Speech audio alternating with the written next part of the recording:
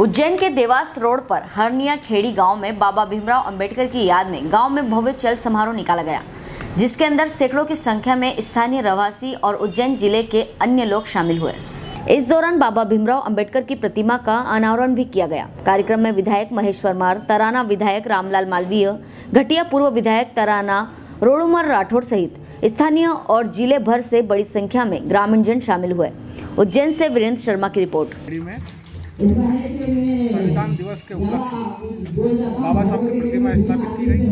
जल समारोह निकाला गया इसमें सैकड़ों की संख्या में लोग उपस्थित रहे और कार्यक्रम सफल रहा। किस प्रकार से जो है बाबा साहब के के कार्यक्रम से जो है आम जनमानस को जो है सीख मिलती है और किस प्रकार से क्या रहता है? बाबा साहब ने संविधान में हर वर्ग हर जाति हर समाज के लिए जो संविधान लिखा है सबको समानता का अधिकार सबको कहाँ कहाँ से यहाँ पर भक्त पहुँचे हुए लोग पहुँचे हुए तो क्या रहा? उज्जैन ज़िले के आस यहाँ के नोयों द्वारा बाबा साहब की स्टेचू लगाई गई है। बहुत ही सराहनीय कार- कार्य है।